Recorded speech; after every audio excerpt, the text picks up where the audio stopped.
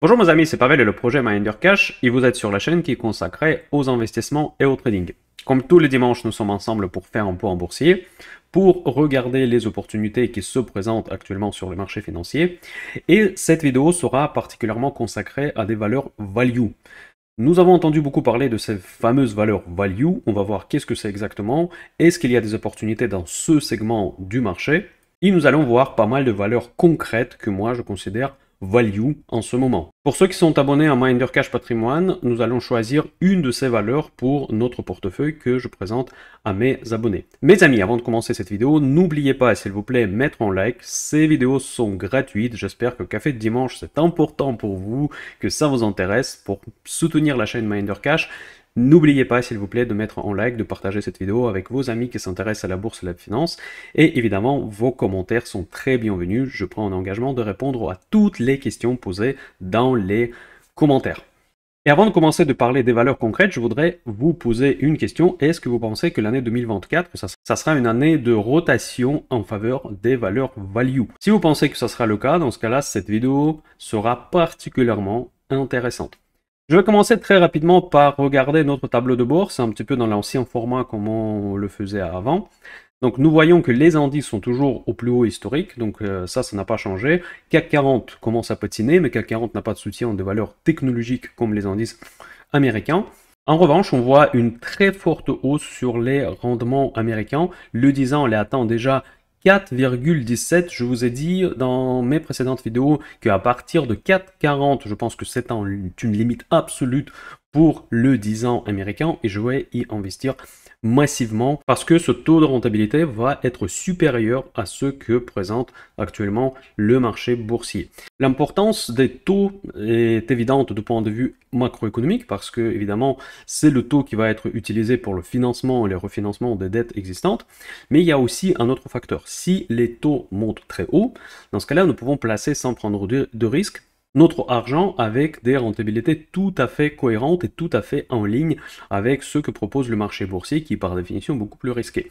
Et l'arbitrage euh, pour les investisseurs sérieux en tout cas se fait très facilement. Donc si je peux obtenir un rendement de 4,5% ou bien 5% sans prendre de risque, c'est quoi l'intérêt d'aller chercher cette, même rentabilité, voire moindre rentabilité sur certains segments de marché d'action actuellement, en investissant avec du risque, avec du risque euh, par rapport au capital investi sur le marché d'actions. Donc évidemment, la plupart d'investisseurs vont préférer la première option quand la contrepartie est très fiable, l'État américain, donc ceux qui croient aux États-Unis, et beaucoup d'investisseurs, non seulement des gros fonds, non seulement des hedge funds, mais même des investisseurs particuliers, ils préfèrent tout simplement investir dans des obligations.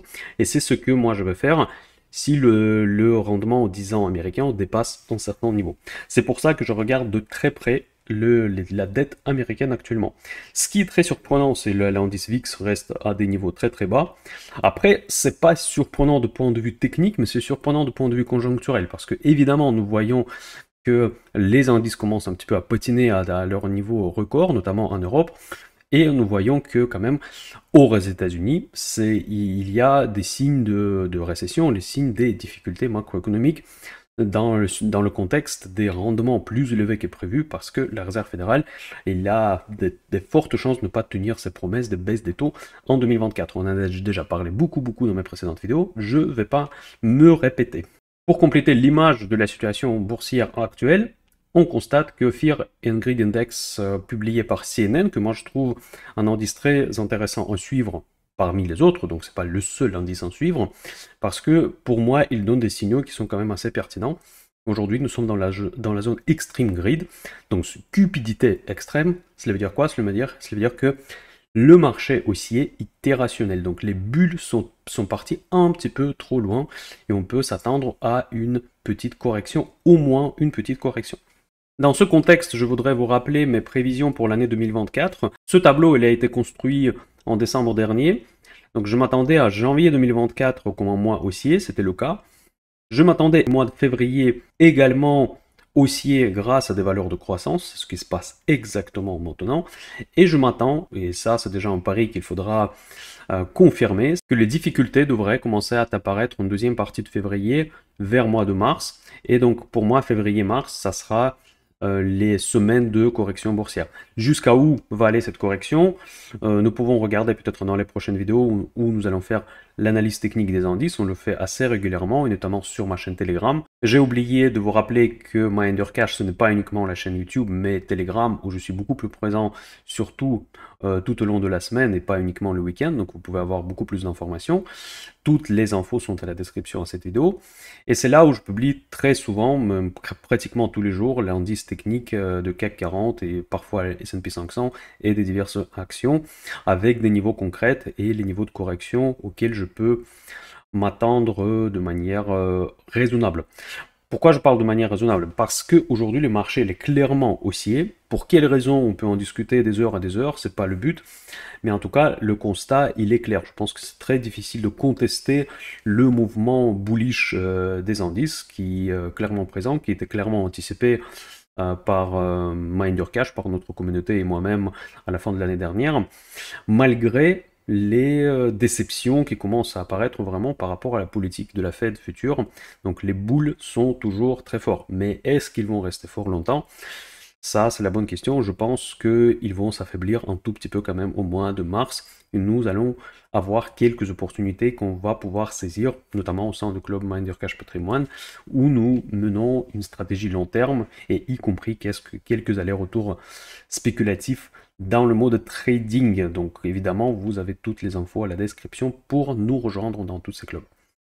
Voilà, en gros c'est clair, pour résumer, les marchés sont haussiers, mais je commence à être pessimiste, je commence progressivement à me couvrir. Allez, maintenant nous allons commencer à regarder des actions concrètes et notamment des actions value. Je vais commencer l'analyse des actions value par les actions énergétiques. Je ne veux pas trop longtemps m'arrêter sur euh, Total Energy. Euh, je vais en parler quand même rapidement parce qu'il y a eu une publication. Globalement, Total Energy, il, a publié de très bons résultats. Je vais vous lire un petit peu le post que de Telegram. Ça vous donnera peut-être envie de rejoindre, si ce n'est pas encore le cas. Donc, ils publient les résultats légèrement inférieurs aux attentes, mais annoncent une hausse de dividendes. Ils ont publié le bénéfice net du groupe record, mais le résultat, il était légèrement inférieur aux attentes des analystes. Donc, c'était vraiment légèrement. Donc, si vous allez regarder un petit peu plus en détail, donc rien de particulier. Mais n'oubliez pas que le marché, c'est principalement les automates. Dès qu'ils voient une petite moindre écart entre ce que s'attendaient les analystes et ce que la société a réellement hum, publié. Donc immédiatement, vous obtenez une réaction de marché parfois très violente. Sur Total Energy, c'était une réaction, on peut dire, violente, à moins 2%, violente dans le sens que c'est trop par rapport à la publication, parce que la publication, généralement, elle était très très très bonne. Mais par contre, la bonne nouvelle qui a compensé largement la petite déception, c'était la hausse du dividende.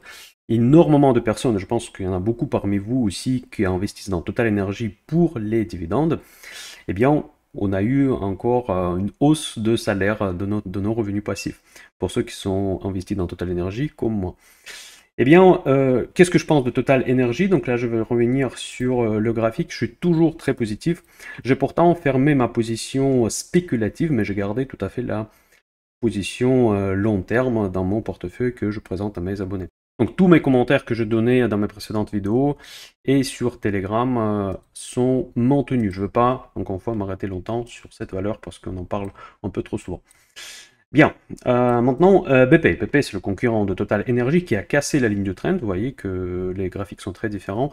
Par contre, eux, ils ont publié beaucoup mieux. Ils n'ont pas du tout déçu les, euh, les investisseurs et les analystes.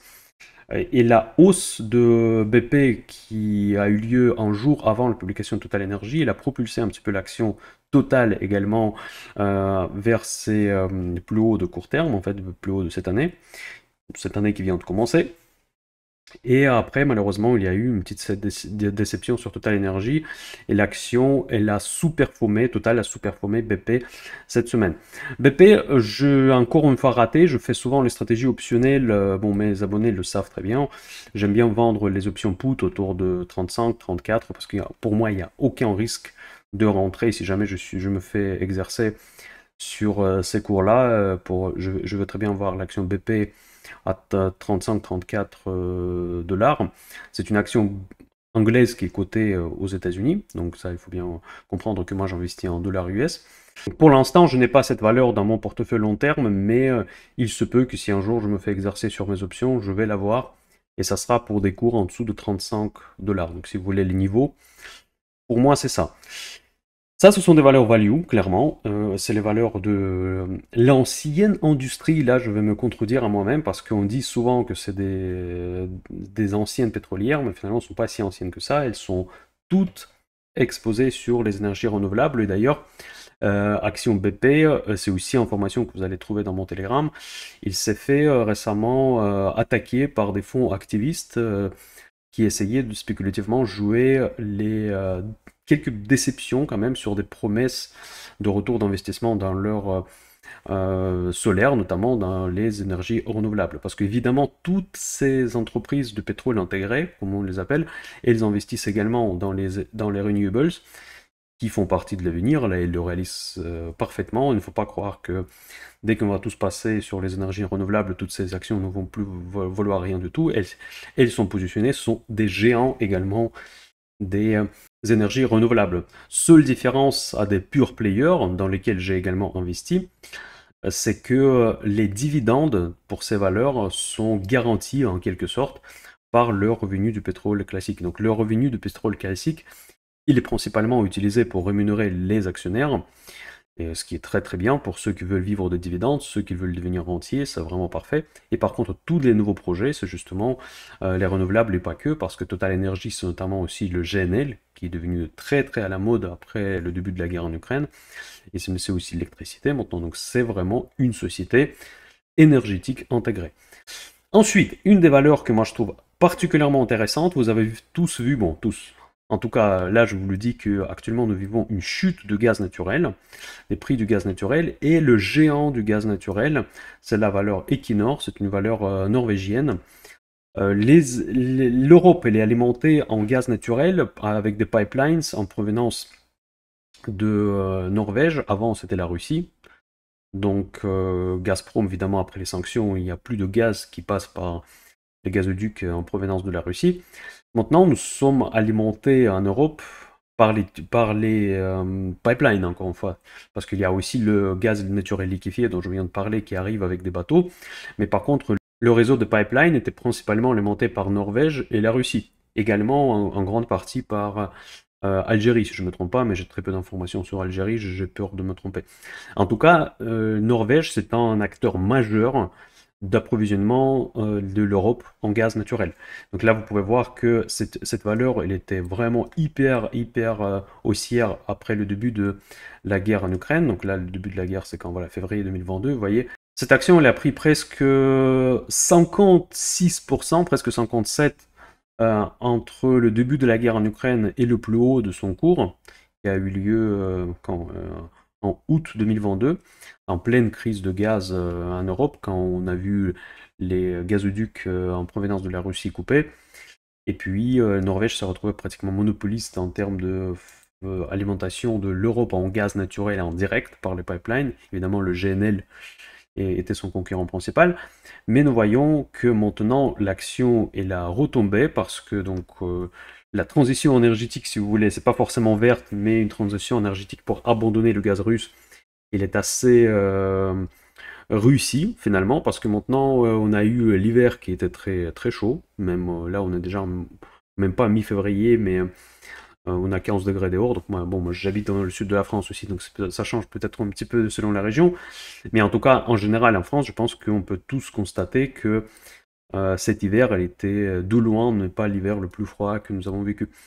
Eh bien, dans ce contexte, le, le gaz a chuté et la, cette action, c'est une action de grande qualité avec en moite pour une fois. Vous savez que moite, l'avantage concurrentiel qui distingue les valeurs et qui permet de mettre quelque part des barrières à la concurrence, il est beaucoup plus fort pour cette société que pour les sociétés pétrolières que nous venons juste de voir parce que entre BP, Shell, euh, Exxon, euh, bon Exxon c'est plus les États-Unis quand même, et Total Energy, il y a une concurrence directe et frontale. Donc c'est vraiment oligopolistique.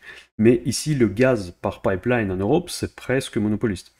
Et euh, Equinor, c'est un acteur majeur dans, cette, dans ce domaine, et je pense que c'est vraiment une bonne idée de suivre cette action. Donc on va voir tout de suite les euh, fondamentaux, car le cours d'action il est revenu à ces niveaux euh, juste après le début de la guerre en Ukraine. Voilà, donc euh, j'utilise comme d'habitude GoroFocus. nous voyons que GoroFocus score c'est 93 sur 100, donc ça c'est vraiment un très bon score.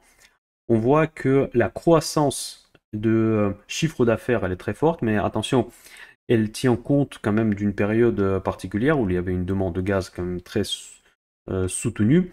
Et n'oubliez pas que dans ce type d'actif, il y a une saisonnalité. Parce que, évidemment, en septembre, quand on ne sait pas quel sera l'hiver, souvent on n'est pas un petit peu pessimiste, on prend un petit peu de l'avance. Et euh, ces, actions, ils, obtiennent une espèce d'une prime euh, saisonnière. Et, maintenant, les ratios. Si on regarde les ratios, on voit que les dividendes, déjà à 4,13, ça fait pas rêver au jour actuel. Vous voyez, ça c'est un parfait exemple. Dividendes pour une action euh, comme Equinor, qui sont censées souvent d'être des valeurs à gros dividendes, donc généralement dans ce secteur nous pouvons observer les dividendes quand même assez importants, eh bien aujourd'hui il offre pratiquement euh, pile poil exactement le même taux de rendement que les obligations US. Donc si vous investissez pour les revenus passifs, pour les rendements, dans ce cas-là il est bien plus intéressant d'acheter des actions US où il n'y aura pas 56% de baisse, 56% de hausse, et être sûr d'être rémunéré tous les ans.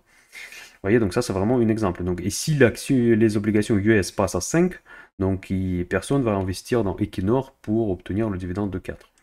Ça c'est vraiment un exemple de rendement que proposent les actions, rendement que proposent des obligations. Après, évidemment, on peut parler que l'action et la potentiel de hausse en elle-même, mais ça c'est déjà purement spéculatif. Ici, nous, parlons euh, des, revenus passifs que vous allez euh, sans doute euh, obtenir à partir de tel ou tel actif. Donc évidemment, les, les obligations, les, dividendes pardon, font souvent l'objet des révisions pendant les assemblées générales des actionnaires, des propriétaires des entreprises. Mais généralement, les, entreprises qui ont fait le choix de, de bien rémunérer ces actionnaires, il euh, baisse rarement les dividendes, sauf évidemment les problèmes évidents. Mais nous revenons aux fondamentaux. Donc vous pouvez euh, observer que le PE ratio actuel est à 4,9. Donc ça, c'est du passé, donc ça, ça ne nous intéresse pas trop. Mais si on tient compte de ce que s'attendent les analystes, on monte à seulement 8,2. C'est vraiment rien du tout en dessous de 10. Et c'est même pour ce secteur, ce secteur value, c'est quand même une valorisation extrêmement faible. Si je regarde le ratio qui, moi, je considère plus pertinent, c'est EV et euh, EBITDA, donc EV et EBITDA, voilà. Vous savez, c'est fou en fait, c'est même difficile à croire parce que généralement je considère les valeurs qui sont pas chères quand elles sont en dessous de 15 et en dessous de 10, je trouve que c'est deep value. Aujourd'hui, on est à 1,43. Vous voyez, 1,43 pour euh, ce, ratio qui tient compte de la dette, contrairement au euh, PER. Et même si vous prenez ce que s'attendent les analystes, nous montons uniquement à 1,7. Donc c'est une valeur qui est fondamentalement très fortement sous-valorisé. Euh, où il y a le problème Regardons la dette. La dette, elle est 61% de, des fonds propres, ce qui n'est pas fou. Et la couverture de cette dette par les bénéfices, donc elle est à presque à 13 fois. Donc c'est pas gigantesque, j'ai vu mieux, mais c'est quand même largement confortable pour rembourser sans aucun souci euh, cette dette. Après, Piotrowski F-Score, euh, c'est un système de scoring auquel j'ai très peu de confiance. Je le regarde quand même comme une information supplémentaire pour les valeurs type comme ça, parce que c'est des valeurs quand même avec des bilans, avec un profil quand même assez typique, et le relativement fiable. Donc 6 sur 9, c'est relativement bon score dans le vert. Voilà, donc évidemment aucun risque de faillite, ce qui est Altman Z-Score, et la manipulation comptable Benesch M-Score, non manipulateur, donc c'est une valeur relativement stable. Euh, courant ratio au-dessus de 1, donc largement au-dessus de 1, donc il n'y a aucun problème de trésorerie. Et l'héroïque, les rentabilités, c'est fou, c'est 20% de rentabilité si on tient compte euh, de la dette, et sans la dette, 33,5. Donc c'est une valeur très rentable avec des grosses marges, valorisée à que dalle, et qui se trouve à un niveau juste après la guerre en Ukraine. Après, c'est à vous de décider, mes amis. Je vous présente les idées, mais après, c'est à vous de faire les conclusions. Aujourd'hui, je voudrais vous présenter une valeur du secteur euh, qu'on ne regarde pas souvent chez Minder Cash, et ça c'est dommage, c'est le secteur bancaire. le secteur bancaire qui a d'ailleurs beaucoup baissé cette semaine, et Crédit Agricole, il ne faut pas la présenter, la banque verte française, J'imagine que beaucoup d'entre vous ont, les comptes chez Crédit Agricole. Eh bien, nous sommes actuellement sur un niveau qui me paraît extraordinairement intéressant. Donc, au niveau de trend, on est très proche à la ligne basse du trend. C'est un peu comme Total Energy. La valeur qui paye des énormes dividendes, mais euh, je ne suis pas du tout exposé sur les bancaires. Peut-être euh, c'est un secteur qu'on voudra regarder dans la prochaine vidéo. Dites-moi dans les commentaires si vous voulez que je vous présente le secteur bancaire dans les prochaines vidéos Minder Cash Patrimoine. J'ai vu que sur Telegram, vous m'avez posé beaucoup de questions sur l'UBS. Aujourd'hui, on regarde Crédit Agricole que j'imagine intéresse beaucoup de personnes. Donc techniquement, nous sommes aujourd'hui quand même pas trop mal. Donc là, le potentiel de baisse aujourd'hui, il est ridicule, donc ça se compte en quelques centimes, et c'est légitime tout à fait de regarder les euh, fondamentaux de Crédit Agricole, pourquoi elle est tellement bas. Eh bien, l'analyse pour les euh, valeurs bancaires, c'est relativement simple, parce qu'on peut se baser sur des euh, ratios qui sont très basiques que généralement ils sont tellement simplistes, tellement basiques que je ne les regarde pas souvent. Notamment, c'est un ratio qui s'appelle price to book. C'est une valeur boursière par rapport au prix euh, comptable de la banque. Mais pourquoi Pour les banques, ce ratio il est très pertinent? Parce que les bancaires, leur compte, en fait, leur euh, book, ce qu'on appelle le book, c'est la valeur comptable, représente principalement par les différents actifs. Et les actifs, c'est quoi? C'est les prêts, c'est les différents produits financiers qui sont très faciles à valoriser. Et il y a tout un tas d'agences, euh, notamment d'ailleurs euh, la BAL, la commission de BAL aussi, qui vérifie la pertinence de ces valorisations.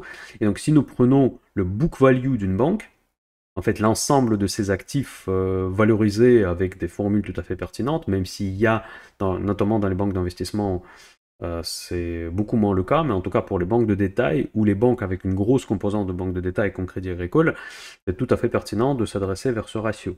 Donc price to book aujourd'hui, il est à 0,54 selon les données de investing.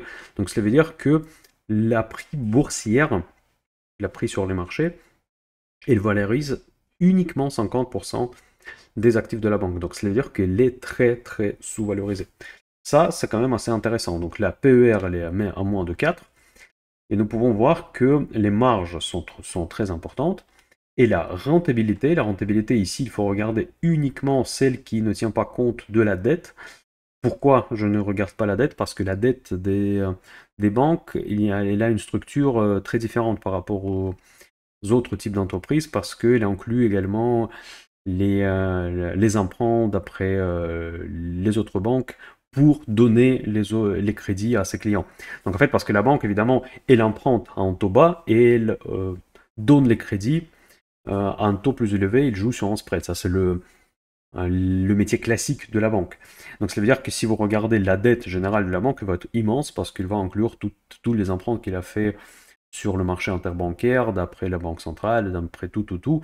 Ce qui en réalité, c'est pas vraiment la dette, c'est juste les fonds qu'ils ont empruntés pour par la suite euh, reprêter à quelqu'un d'autre. Donc c'est pas exactement la même dette comme pour les entreprises industrielles par exemple. Donc aujourd'hui, euh, return on equity, ça c'est le ratio qui va nous intéresser. il est presque à 8%, c'est beaucoup pour une banque. Franchement, c'est un très bon ratio. Généralement, les, les banques saines, c'est déjà qui sont rentables, ça tourne justement entre 5, 6 et 7. Et là, on est presque à 8.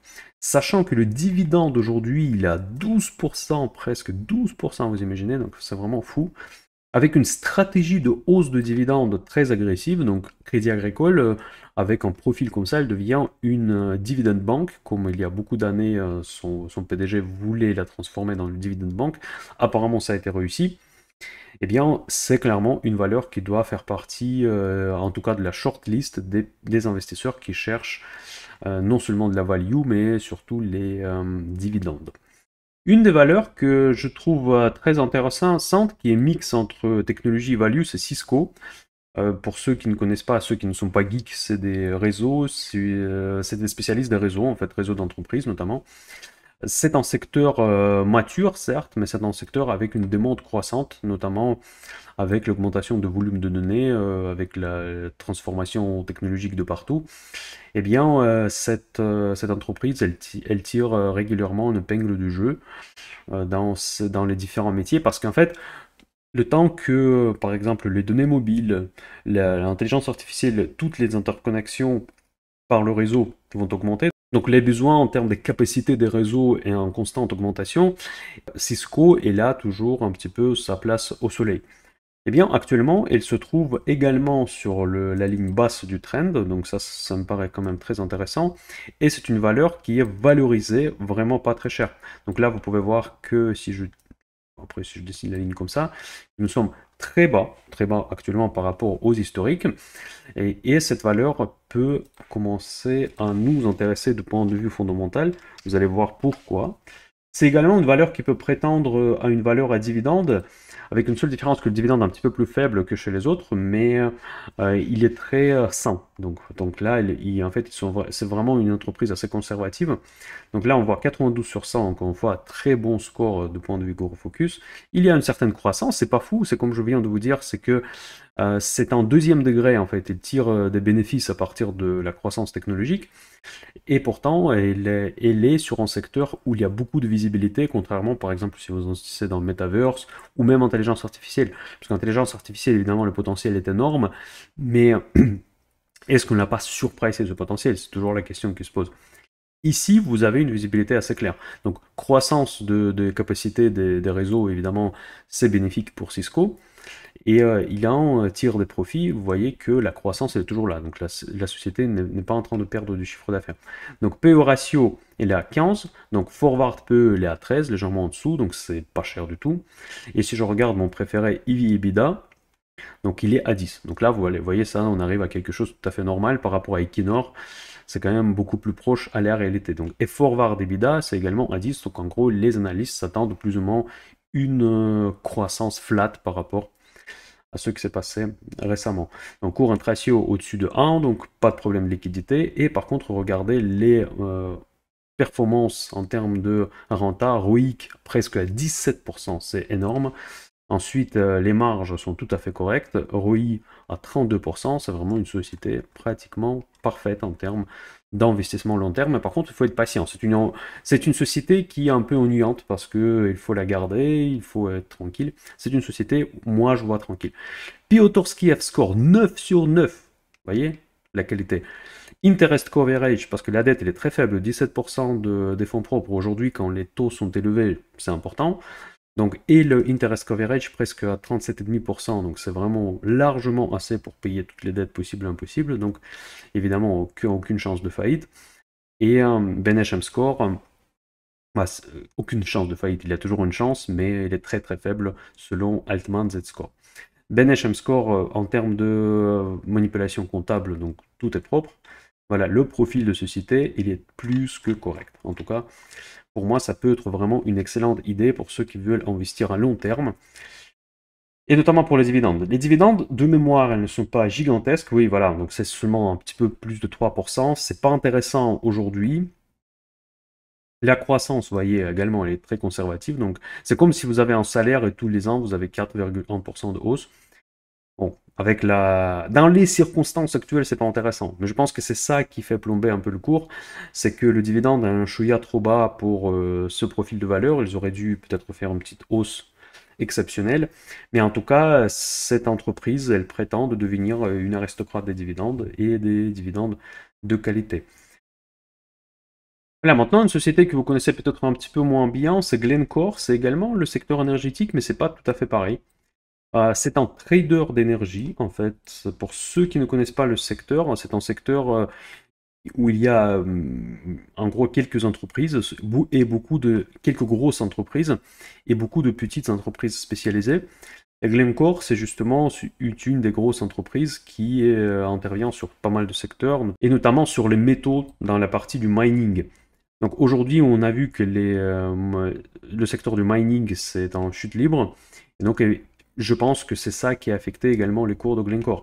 Mais regardez que le cours, elle a quand même monté, si on prend ce niveau actuel, par rapport au plus haut qu'il a touché il n'y a pas longtemps, on a quand même baissé de 52% pour un des leaders euh, de trading des matières premières et des métaux. Je pense que c'est quand même quelque chose qui fait réfléchir parce que, vous savez, ces, traders, ce n'est pas comme un hedge fund ou quelque chose comme ça. Ils font des parties spéculatives à l'intérieur, mais elles font partie intégrante de la chaîne d'approvisionnement. Je vais vous expliquer très rapidement comment ça se passe. Par exemple, un producteur de pétrole en Arabie Saoudite ou n'importe quel pays producteur, en fait, ils n'ont pas forcément l'accès en direct euh, sur des marchés européens. En fait, ils prennent, ils extraient le pétrole et le pétrole brut, ils vendent justement à ces euh, traders, entre guillemets. Peut-être le mot qui n'est pas le plus adapté parce qu'on peut facilement les confondre avec les hedge funds et les spéculations.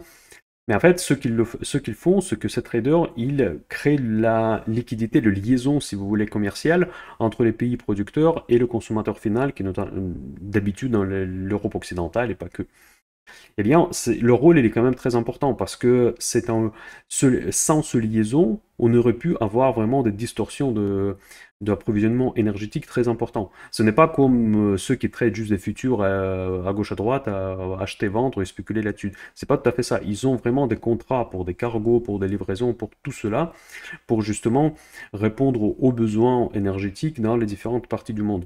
Donc c'est vraiment très très important parce que ça crée, c'est un espèce de market maker si vous voulez sur les sur le marché énergétique mondial. Donc c'est beaucoup plus important que juste euh, des spéculateurs euh, sur, le, sur le desk de Future Petrol chez Goldman Sachs. Donc c'est pas du tout ça. En fait, il y a ça, en fait, il y a cette partie-là, mais il y a une énorme partie physique. Il y a des enjeux tout à fait fondamentaux. Voilà, maintenant au niveau de valorisation, donc on voit que 82 sur 100, donc c'est pas, pas trop mal. Donc il y a une forte croissance quand même des chiffres d'affaires de tous les paramètres. La valorisation actuelle forward PE 9,5, ça c'est vraiment rien du tout pour une valeur, euh, pour une valeur de telle qualité. Et EV EBITDA, elle est à 9 en dessous de 10. Forward et EBITDA à 5. Donc ça veut dire que les analystes, ils anticipent euh, l'avenir meilleur qu'aujourd'hui. Donc on voit que la dette sur les fonds propres, 63%, ce qui n'est pas gigantesque. Ici, on voit interest coverage 7 et quelques, donc ça, ça suffisant, mais pas peut-être pas fou. Et Piotrowski F-score, c'est 8 sur 9. Mais par contre, pour ce type de valeur, je ferai moins confiance à Piotrowski F-score, donc du coup 8 sur 9, pour moi, ça va pas dire grand-chose.